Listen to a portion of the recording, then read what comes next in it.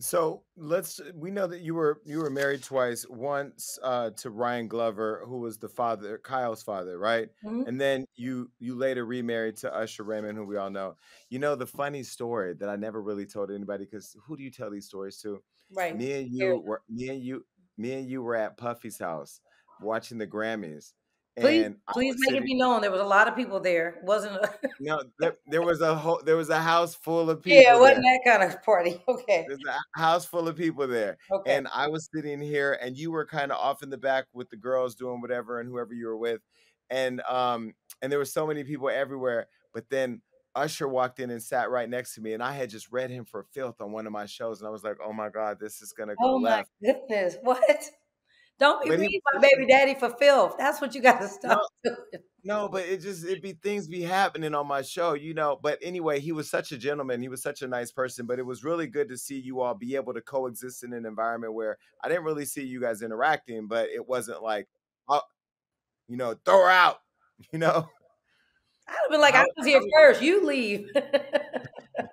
how are you able to coexist now um, before the book? Because I'm sure with the book being out, there's probably some energy around some of the stuff that you said. But what what do you how how are you guys able to coexist and move forward? Because there was the there was the marriage, there was the public attacks you used to get for your age difference. There was the rumored uh, breakdown with his mom where she didn't like you or you didn't like her or something like that.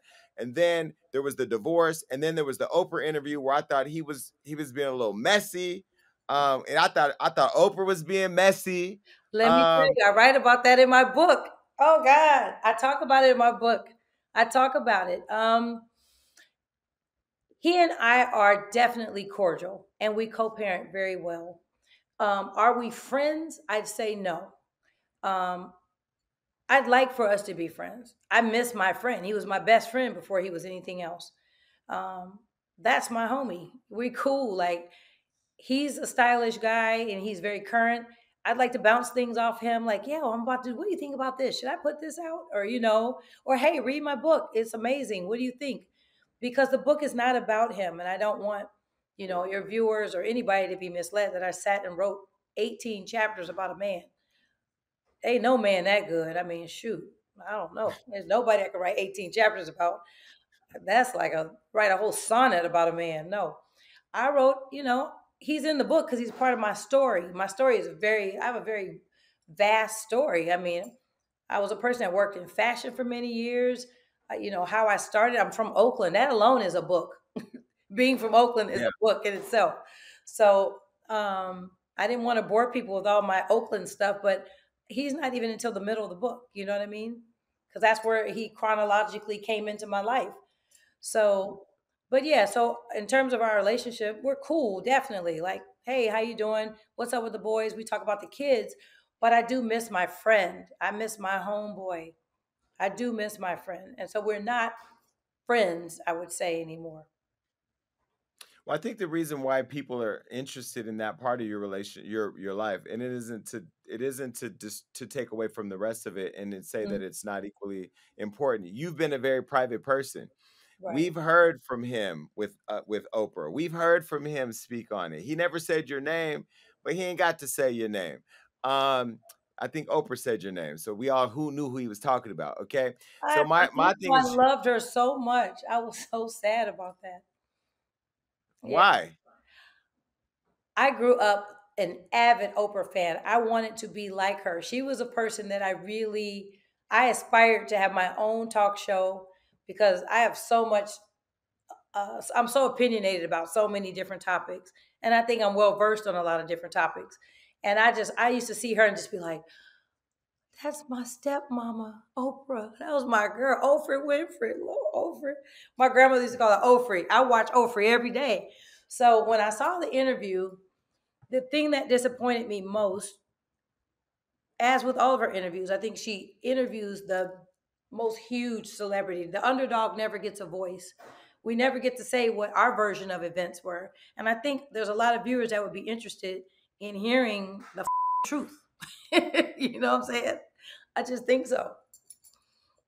Do you feel like Oprah was more focused on getting the interview with Usher Raymond and less on getting the truth about Usher's relationship with Tameka? I can't say. I still love her. I still love Lady O. I love her, but I was very disappointed um, that I never got the like flip side of it to like, hey, let's let's interview the underdogs. What happened to them? You know, and what's their version of events? So the book Here I Stand that has the double meaning doesn't have everything to do with Usher, but we are here at that chapter, so I got to ask you some questions. All right, so you were you you were his stylist. Then y'all were hanging out in your book. You talk about how you guys were talking, and then although you weren't like officially all in, locked down with a ring on it, you were you were advanced enough to where you want to know where the was at, and you pulled up one day and the was in his lap. That's what you said. That's what I the did. book said. My, it is. It's there. It's there. It happened. It happened. Yes because people would watch you right now being calm and speaking about being a mother and so poised and put together and lady oh when really you rolled up and was like bitch get up out of here and you snatched a stripper out of usher raymond's snap no damn that, y'all putting two on the ten i definitely didn't snatch no damn you, tameka you're from east oakland you did not walk in and say please leave i i, I have the potential to snatch some wigs however i did not on that day well, maybe I did, but I didn't touch a girl. I, was mad at him. The anger was directed in the right direction. You got to read the book. I mean, you. I'm not saying you, but I mean, I, I want your viewers to actually order and read the book because I think they will be pleasantly surprised about how things really went and my position on things. And there's some funny stories in there. Actually, that's one of the funny stories. And that was before I got married. So let I will say that for the record. That was prior to marriage. That's our old story.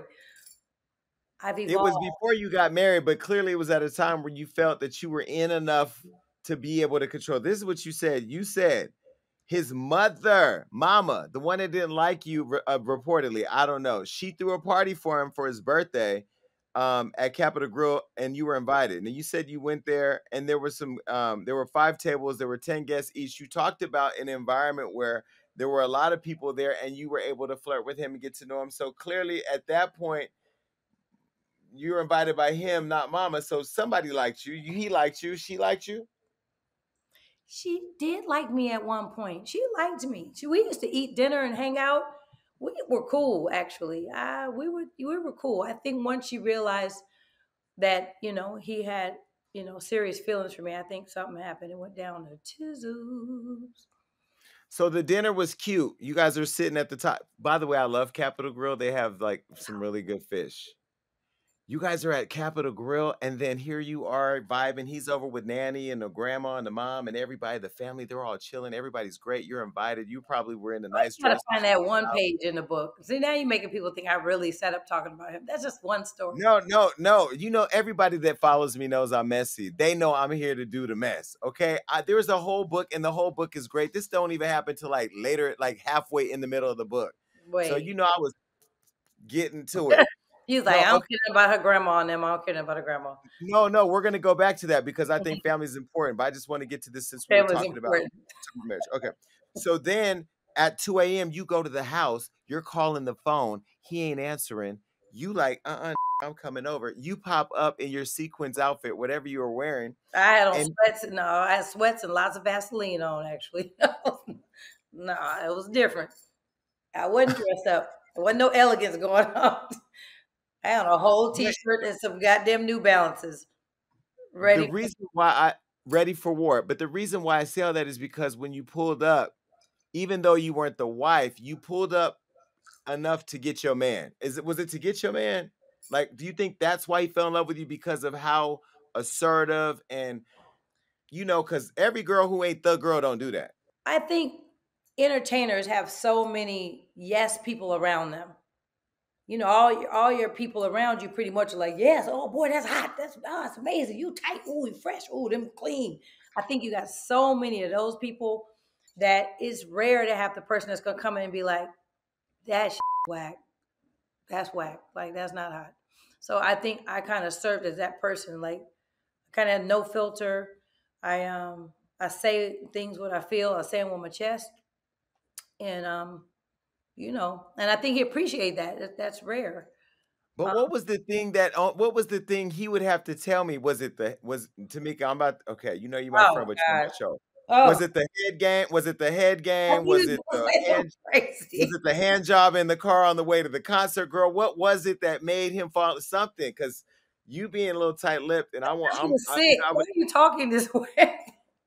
no, I don't know. I can't do that one. I don't know nothing about it. And then if I tell you, I got to kill you. You know what I'm saying? I can't give away my. Listen, what Kevin Samuels said. Nobody marries a high value man. An older woman can't get a high value man. Well, I married two, but so now what we gonna do? What's next, Kevin? All right. So, so why do you think that? Why, why did you think that your age was such a topic when men do it all the time? And did it really bother you? The age difference. The age didn't bother me. It was the, it was that you know what bothered me the most in the whole entire thing. I would say that it was black girls that I would say look like me. You know what I'm saying? People who my same demographic or my same background or might even go to my same school. They weren't supportive. You know what I mean? Most of the negative comments, if you look at the, you know, the more urban blogs and things like that, that's black girls. And you look at the demographic of those blogs, these are girls between the ages of, you know, 25 and probably now 50, you know, who were, oh, she's ugly. She's this. She got kids. She, they, meanwhile, they sitting over there feeding damn Cheerios to their baby on the side. You know what I mean? Like, you got kids too. You should be happy for me. And like, I was all, I've always been pleasant. And like, I've read reports like, oh, she didn't like the fans and she wouldn't. I'm like, what? I'm the one that's no matter where we were, would be like, you got to sign that. She might not never see you again. I still will do that to him. If we're somewhere and some fans are acting crazy, I'll be like, I know. I know. He'll, sometimes he'll say I'm with my family whatever. I say, no, she might not see you again, or she's from Germany, or you know, I'm on the fan side. So as long mm-hmm. as it's clear, I'm the ally of the fans. And I think it was mistaken that I was like being mean and I didn't, I don't know, but more importantly, the black girls hate it any Caucasian women, any Latina women, any. Was that because they wanted him or because they fantasized over him, or is it because they wanted to see him with some Elle magazine model or something, or another Probably celebrity? a little of both, I would imagine. Um, I wrote the fantasy for them from what their picture of what they saw. They didn't know that he had like a very clean person with a, you know, who kept a good house and, you know, knew how to take care of kids and knew how to do the things that a man like him needed. They didn't assess that stuff. I'm not the party girl. I'm not going to have the cutout leggings on and the orange wig and all that. But I know how to do what I do. So you had this beautiful wedding scheduled. I remember I remember this.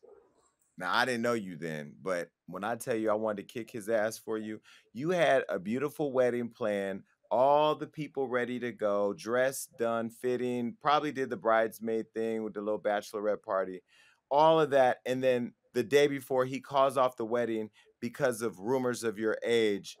And then you didn't get married, and but then you you later went and married him anyway.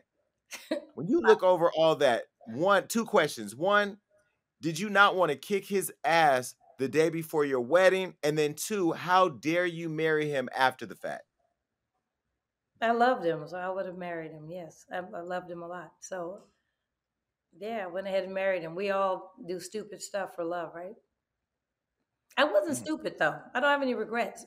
All the things that have happened, all my experiences have shaped me into uh, who I am. Like even you know the boyfriends and the relationships prior to him and after him, they all shape me into my personality. They all give me funny stories. They give me they've given me memories. Um, I don't have any like regrets about anybody I've ever been with. I just don't. I think everybody has been solid in because at the time they were solid and they're probably solid now. I don't have any former crackheads or anything as boyfriends. I did well with I my selections. I, I, think I got one in my book. That title was uh, "Toxic Ass." I think he was on meth. But were you not embarrassed though when the wedding didn't go forward oh, the first time? God, of course, it was so embarrassing. It was a bad moment. It was definitely a bad moment. But see, I don't want to you giving all the juicy stuff away. Not all of it, but yeah, you got to a few. Not all. Just a, just a, this is a little bit to That's I'm not getting all the details. Who else? Okay, Who else you didn't say well, you didn't say anything, but let me ask you. Let me just ask you. The, the reason why I say is because I don't really feel like you've given the audience an opportunity to get to know who you are you and how you felt as a woman, right? When you talk about Okay, these I will say this. In closing, wait, let me let me let me let me say this. Wait, let me say this to set it up. All the women that don't have sympathy for you don't know you. They know Usher. And what I'm saying to you is that every woman should be able to connect for, and hopefully they read this book, Here I Stand, to get to it, right? Every woman should be able to empathize with another woman who is taking public scrutiny, taking attacks, taking it on the chin, left and right, and still standing there for her man, gets left at the altar, embarrassed in front of the world, and still comes back to marry the man. I I feel like there's a reason for women to love you for that. I, I agree. I mean, I don't, you know, I don't think this is about the love of the women because the people that are hate, listen, there's a very fine line between love and hate. So anyone that says that they hate you, that's a lot of energy. It takes a lot of energy to decide that you hate me, especially when you you haven't met me or you haven't been around me. So the opposite of love is indifference. So if you don't if you don't care anything about me and if you just you think I'm nobody and blah blah blah, then then maybe you don't like me. But if you have enough energy to decide that you hate me and you've never met me, you've never hung out with me, you know, we never kicked it. How can you say you hate somebody you really don't know them?